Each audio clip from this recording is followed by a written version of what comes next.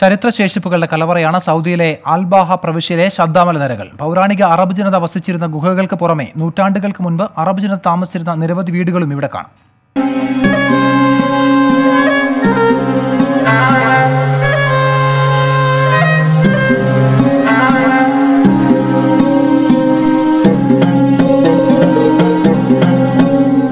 ആയിരക്കണക്കിന് വർഷങ്ങളുടെ പഴക്കമുള്ള ഗ്രാനൈറ്റ് ഗുഹകൾക്ക് പുറമെ നൂറ്റാണ്ടുകൾക്ക് മുമ്പ് അറബ് ജനത താമസിച്ചിരുന്ന വീടുകളുടെ അവശിഷ്ടങ്ങളും സൗദിയിലെ മഖ്വയിലുള്ള ശ്രദ്ധാമലയിൽ മലയിൽ കാണാം. കല്ലും മണ്ണും ഉപയോഗിച്ച് നിർമ്മിച്ച ചെറിയ വീടുകൾ.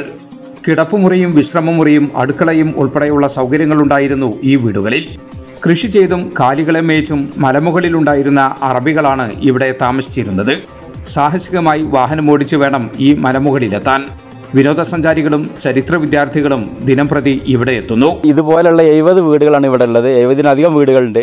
ഈ വീടുകൾ കണ്ടാൽ തന്നെ നമുക്കറിയാം പഴയകാല മനുഷ്യർ എങ്ങനെയായിരുന്നു ഇവിടെ ജീവിച്ചിരുന്നത് സൗദി അറേബ്യയിലെ ബധുക്കൾ എങ്ങനെയാണ് ജീവിച്ചിരുന്നത് നമുക്ക് ഇതിലൂടെ മനസ്സിലാകും. ഇവരുടെ ഒരു ജീവിത ശൈലി ഇവരുടെ വീടിന്റെ ഒരു പിന്നെ സെറ്റപ്പുകളും കാര്യങ്ങളൊക്കെ നമുക്ക് മനസ്സിലാക്കാൻ കഴിയും ഈ വീട് കണ്ടാൽ തന്നെ Saudi commission for tourism and national ഹെറിറ്റേജിന്റെ മേൽനോട്ടത്തിൽ ഈ മലനിരകളിൽ ഇപ്പോൾ ഉദ്ഘാടനം നടക്കുന്നുണ്ട്. ഇപ്പോഴും ഈ മലമുകളിൽ ജനവാസമുണ്ട്. പൂർവികരുടെ പാത പിൻപറ്റി കൃഷിയും കാലിവളർത്തലുമൊക്കെയായി ജീവിക്കുന്ന സ്വദേശികൾ.